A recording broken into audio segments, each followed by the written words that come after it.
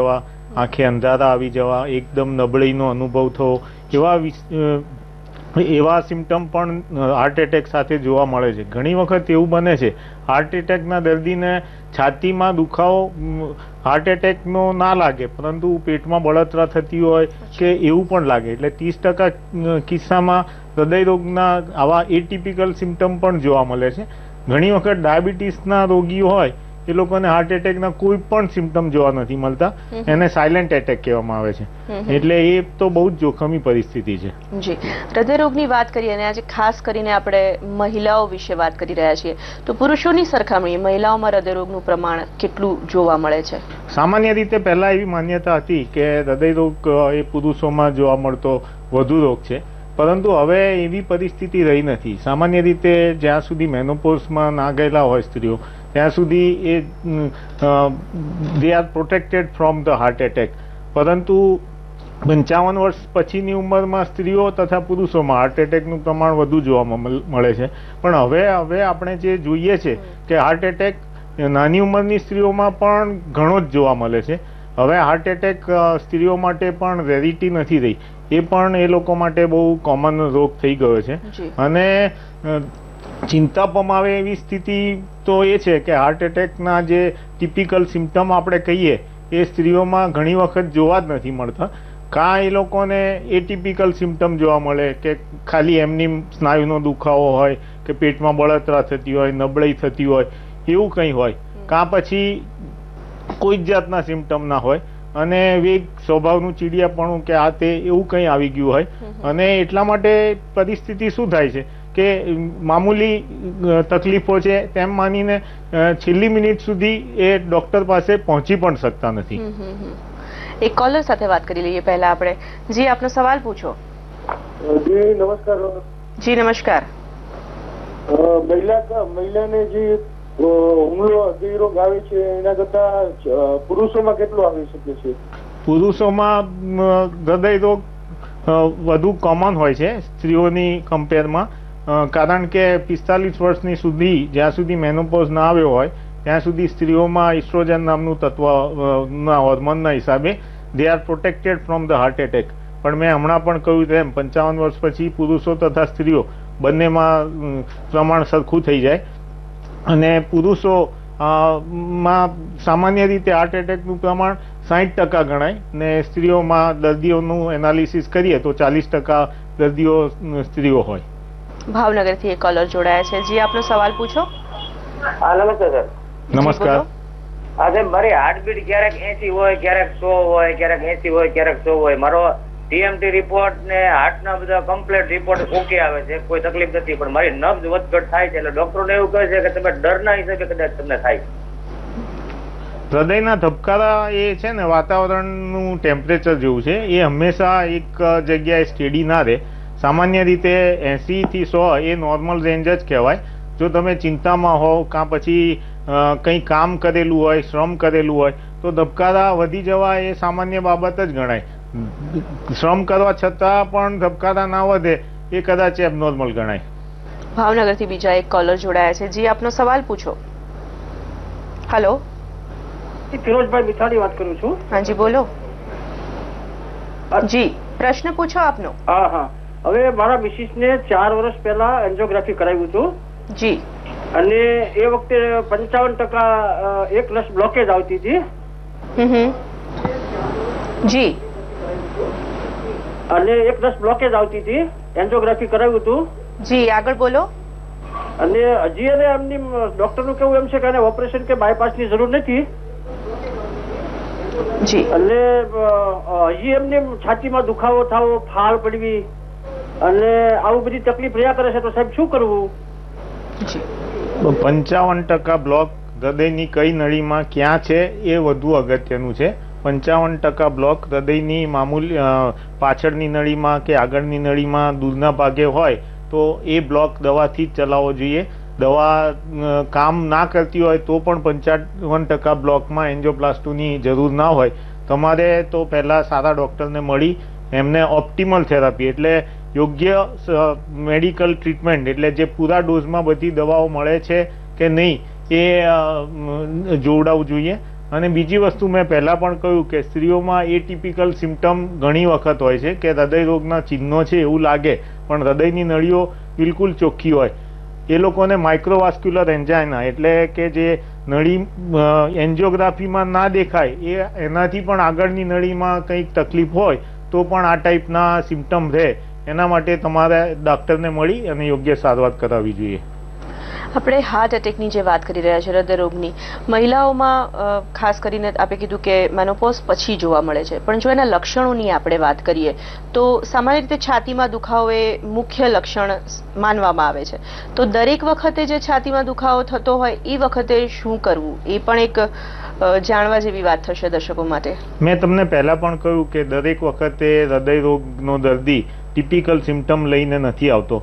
પરંતુ અમુક ઉંમર પછી છાતીમાં કોઈ પણ દુખાવો થયો હોય, એ પહેલું હૃદયનો જ છે, તેમ માનીને ચાલવામાં શાણપણ છે. કારણ કે શું છે કે હૃદય રોગનું સિમ્ટમ હોય અને આપણે ઇગ્નોર કરીએ, તો મૃત્યુ થવાની શક્યતા રહેલી છે.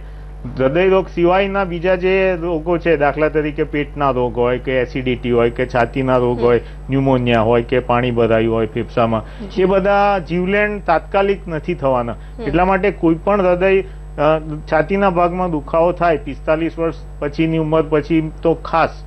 એ હૃદય રોગનું જ છે એમ માની યોગ્ય ડોક્ટરને મળી. કાર્ડિયોગ્રામ તો કરાવી જ લેવો જોઈએ. જી એમાં બીજા કયા પરી- પરીક્ષણો હોય છે એ વિશે વાત કરીએ? પહેલા એક કોલર સાથે વાત કરી લઈએ. જી આપનો સવાલ પૂછો. હા બેન.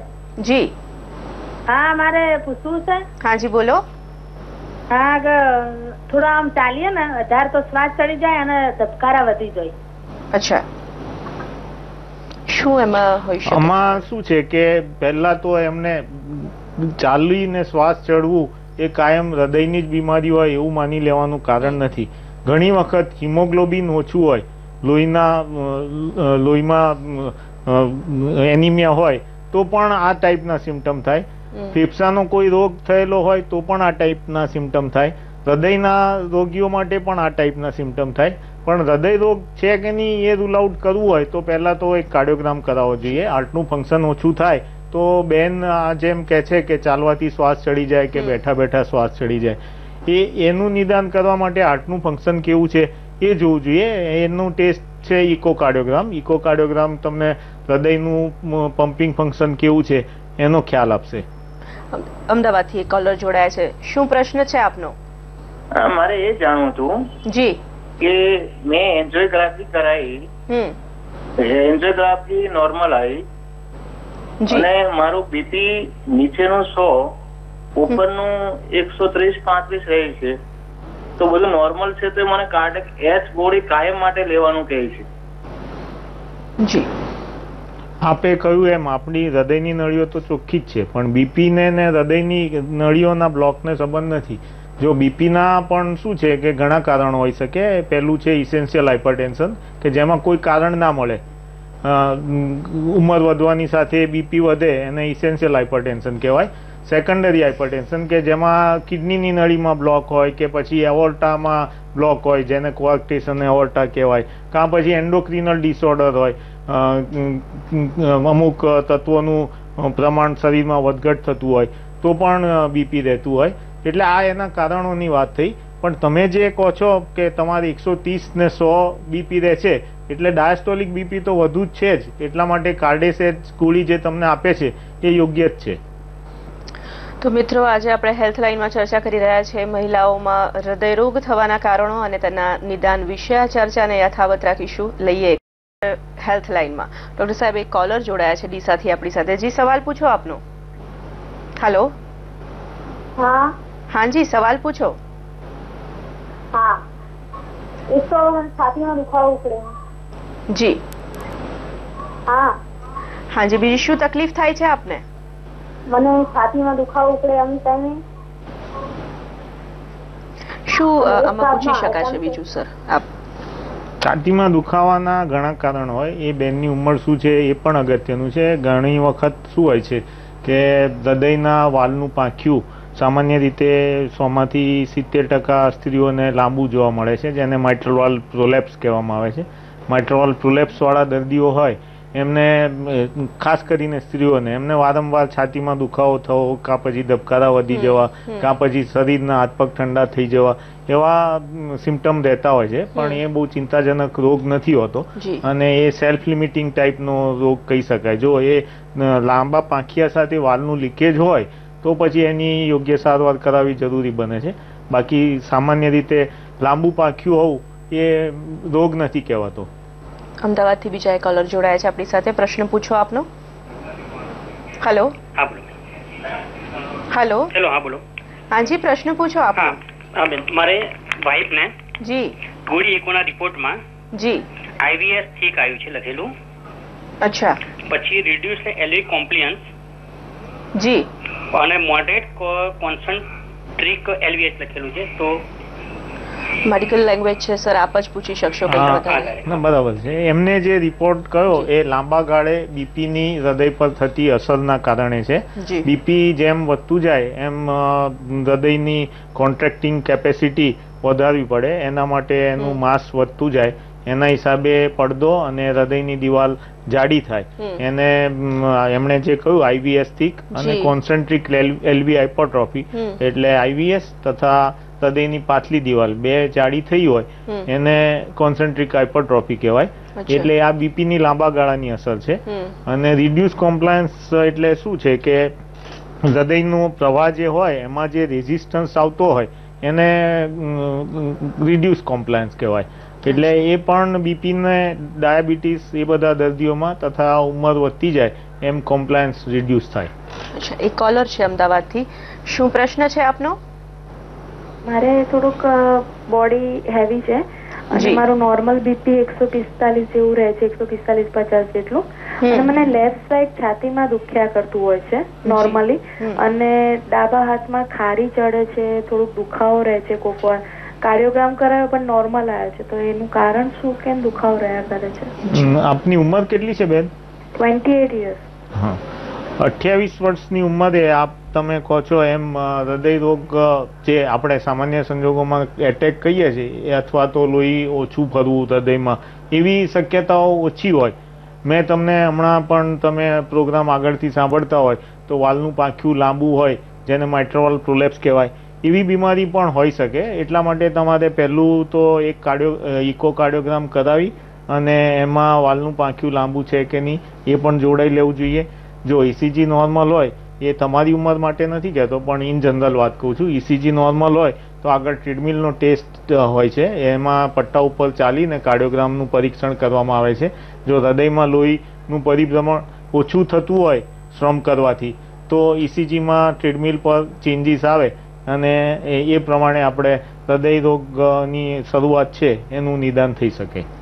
એક કોલર છે અમદાવાદથી એની સાથે વાત કરી લઈએ જી શું છે પ્રશ્ન આપનો? Hello hello.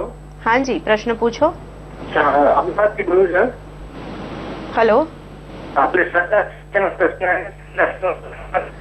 અમને ફોનમાં કંઈક ડિસ્ટર્બન્સ સ્પષ્ટ નથી પહોંચી શકતો.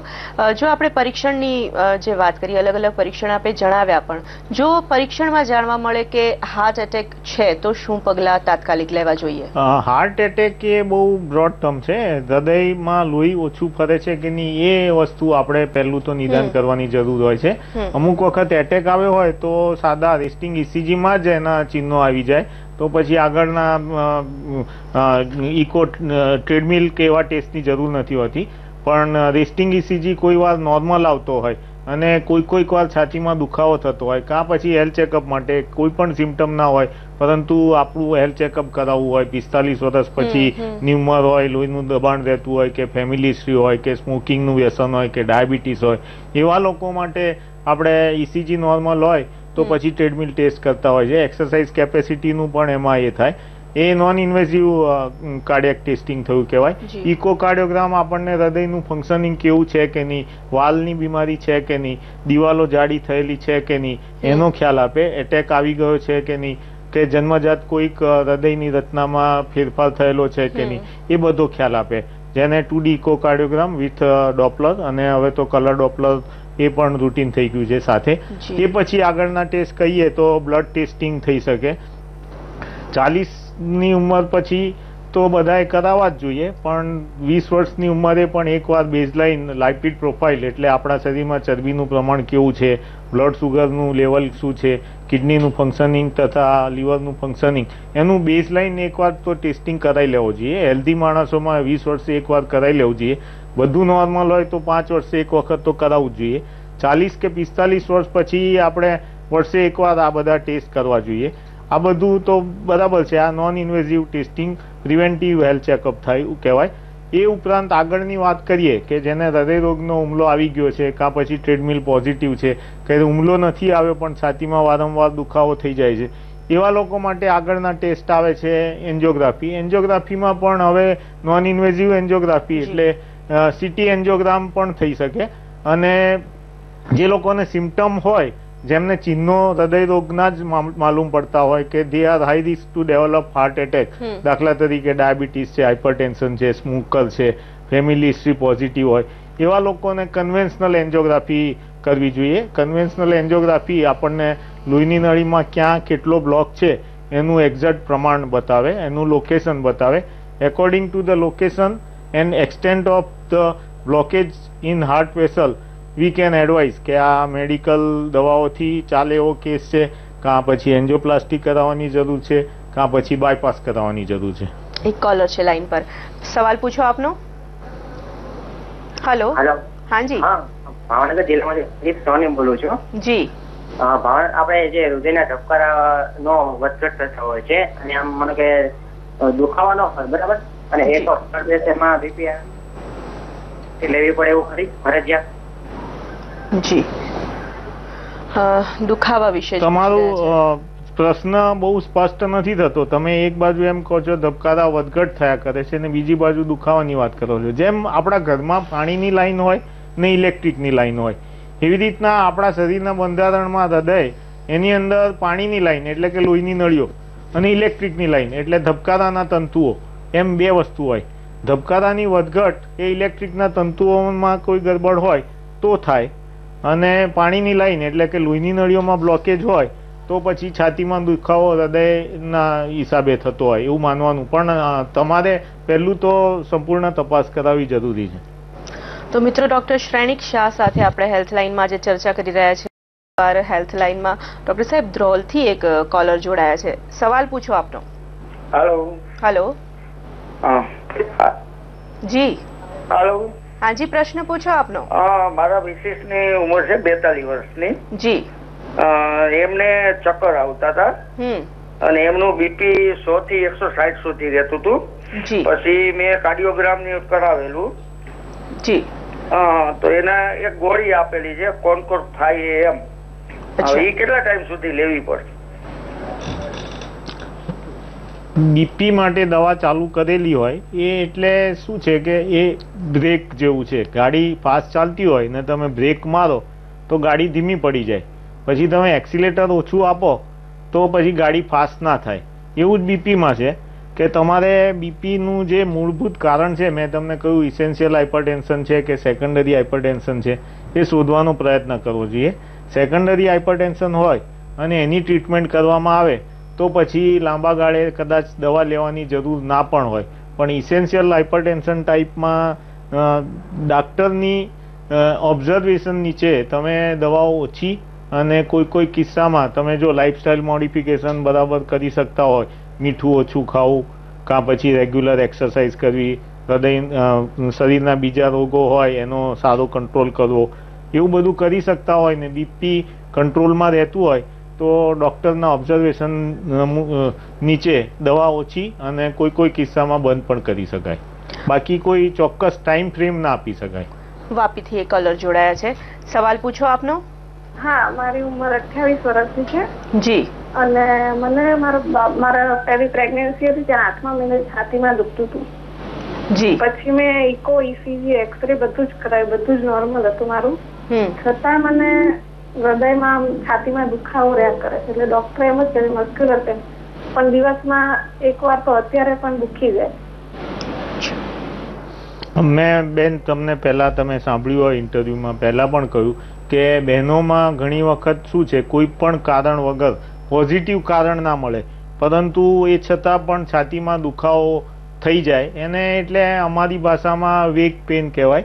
એટલે જ્યારે પણ આપને પેન થાય ને એ વખતે તમારે કાં એનાલ્જેસિક લેવી પડે, કાં પછી તમારે ઓબ્ઝર્વ કરવું જોઈએ કે કયા સંજોગોમાં તમને પેન થાય છે. એન્ઝાયટી રિલેટેડ છે મેન્સ્યુઅલ રિલેટેડ છે, એવા કોઈ સ્પેશિયલ સંજોગોમાં થતું હોય પેન તો એનો ઈલાજ શક્ય થાય. બાકી આ તમારું પેન છે, એ કદાચ જીવલેણ નીકળવાની શક્યતા એકદમ નહીવત છે. એટલે તમારે એની બહુ ચિંતા કરવાની જરૂર નથી. પાલિતાણાથી એક કોલર જોડાયા છે. પ્રશ્ન પૂછો આપનો.